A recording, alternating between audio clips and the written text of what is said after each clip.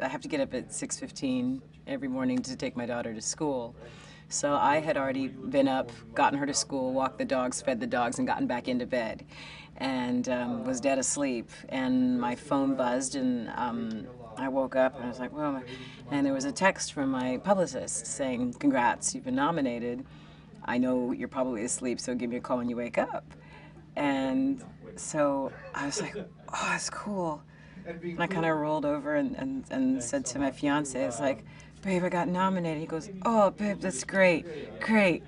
And we both passed out and then woke up two hours later. And then it kind of hit me. But so it was very sort of like surreal moment, quite literally, because I wasn't really conscious.